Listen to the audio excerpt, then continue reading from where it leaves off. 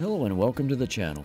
We had been hearing about this festival for some time, and finally the stars aligned, allowing us to visit the Vegreville Pysanka Festival. The festival, which is usually held in early July, showcases all things Ukrainian found in this part of Western Canada. One of the first things you'll notice when entering Vegreville is this Ukrainian style Easter egg, or Pysanka, which is reportedly the second largest in the world. The largest one is located in the town of Kolomyia, Ukraine, unless Putin has destroyed that too. We then made our way to the parking lot where various vehicles were parked and unique transportation options were available to take you around the venue. The spirit of the festival was quickly evident as we came upon some singing and dancing.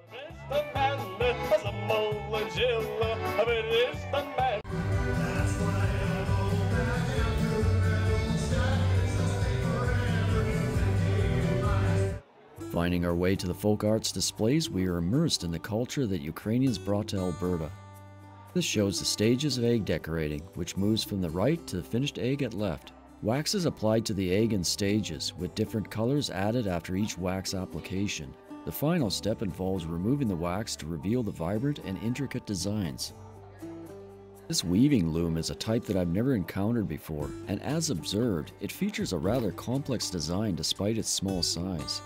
The colored levers on the right side were particularly unfamiliar to me, however they may serve as a substitute for foot pedals or treadles found on other types of looms.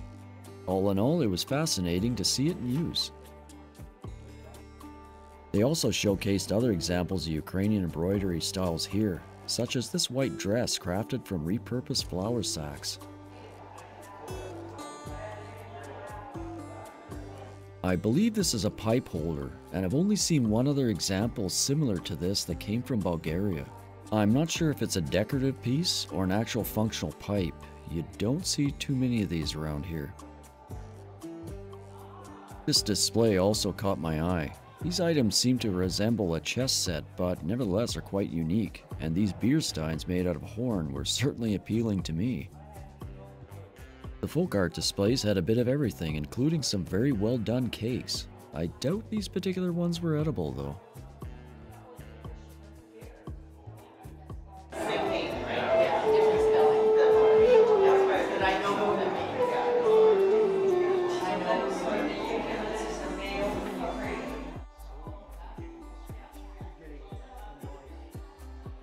As we moved on to explore the merchandise on display, we discovered a wide array of Ukrainian themed items, including folk arts and crafts.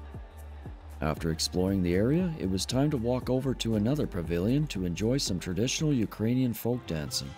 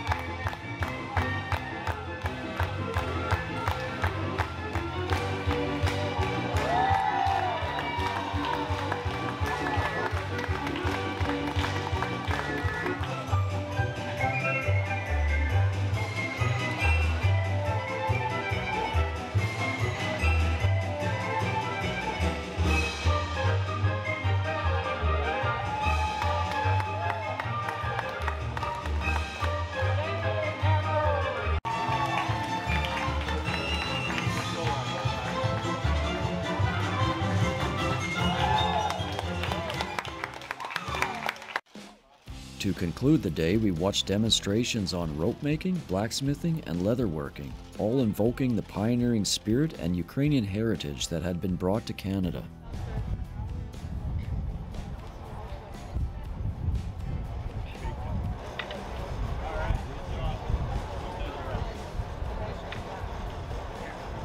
I hope you enjoyed seeing Vegreville's Pysanka Festival. When this festival comes around next year, I highly recommend going and immersing yourself in this spectacular showcase of unique culture.